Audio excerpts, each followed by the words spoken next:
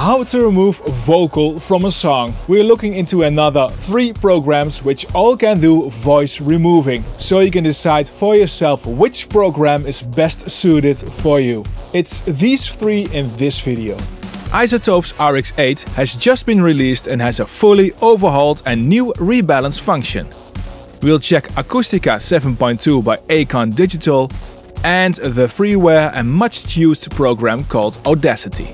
Hi, I'm Marlon and welcome to the White Noise Studio. Please subscribe to the channel if you want to know more about audio, mixing, mastering and recording. Each of these three tools remove vocals in their own way. Acoustica actually offers two ways of removing vocal and voice from a track. The first one is by using the remix functions where you can select stems to remix in a way the iZotope RX8 also does. Simply turn down the vocal stem to remove the vocal from the music. The second one is the extract dialogue function. That one is meant for, well, extracting the vocal. But if you use the solo noise function, you can monitor the music without vocal and fine-tune with settings like threshold, reaction time, the knee and maximum attenuation. You can bounce the track with the noise in solo and with that remove the vocal. Audacity is the well-known freeware digital audio workstation and comes with the function called vocal reduction and isolation. This by itself provides a few algorithms to try out what works best with the audio you want the vocal removed from. iZotope's RX8 has a completely overhauled music rebalance function. It's made a lot simpler. And you remove the vocal by simply turning down the vocal stem in the mixer. Let's use the same two tracks as I did in my first vocal remove video to keep the comparison fair. The link is in the description below. It's more difficult audio material. One moody gloomy track with a synth which is in the same range as the vocal. And a dense stoner rock track where the vocal is more in the music than separated. Let's make it difficult for these programs. Here's the moody gloomy track with the vocal. I'm in your stomach now. You'll never get me out.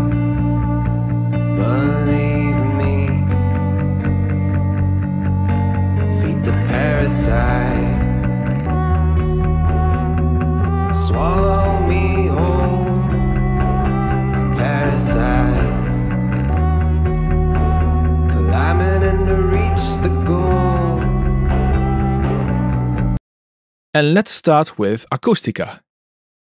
First, let's use the remix function.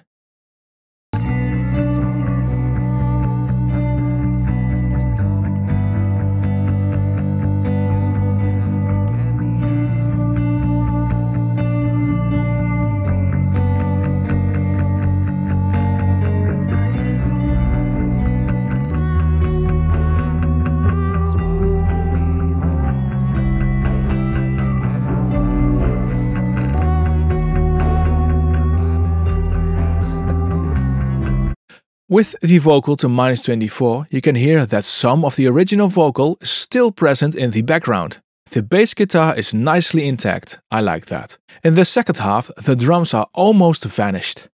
With extract dialogue and solo and added emphasis, the vocal is almost completely removed.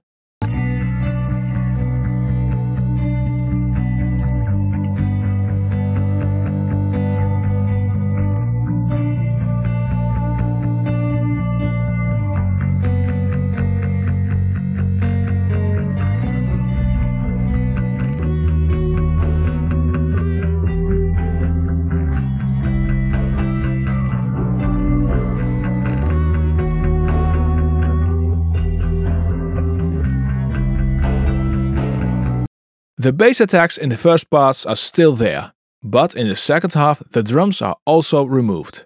I prefer this technique in Acoustica above the remix function. Next up is Audacity. I found the best working settings are to set the low cut to 250 Hz and the high cut to 10 kHz. Setting the strength to anything higher than 25 removed the vocal the most.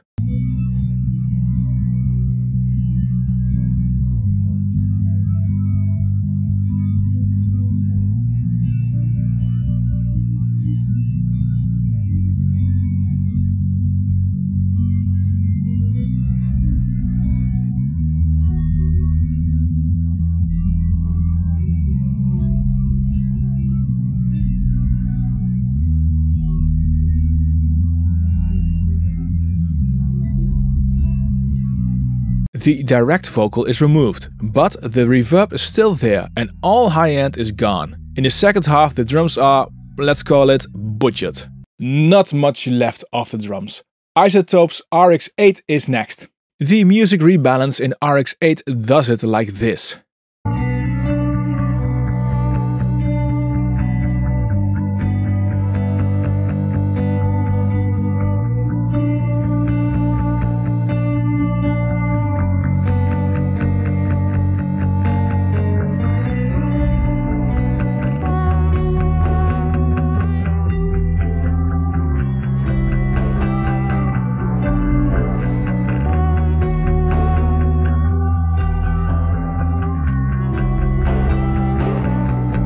RX-8 does a pretty good job. You can hear traces of the reverb are still present. The attack of the bass guitar is somewhat unstable. Acoustica handled that better.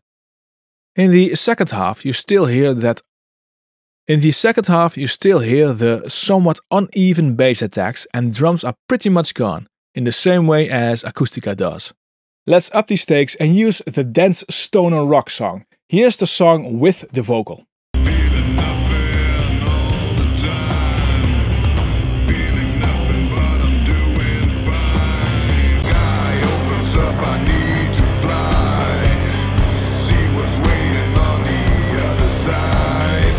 And Acoustica is first up again.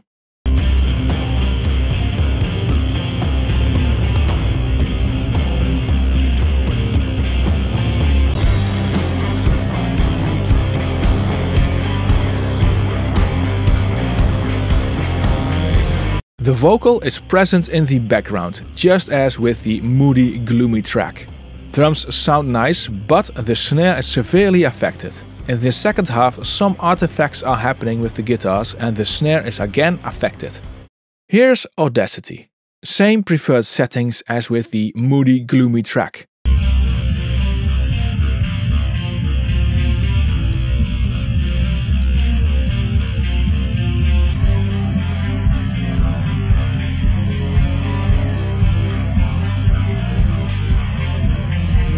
Audacity does a vocal removing on this track like a blunt axe. Absolutely removes the vocal, but with that it kills the drums completely and also gives some weird artifacts. iZotope's RX-8 is next. And for comparison in RX-7 it sounded like this.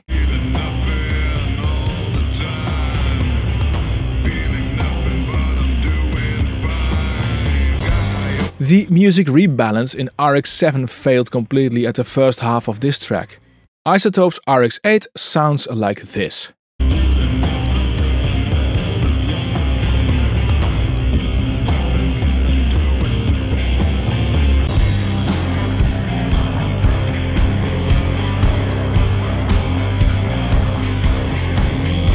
In RX-8 it removed most of the vocal, a large improvement over RX-7.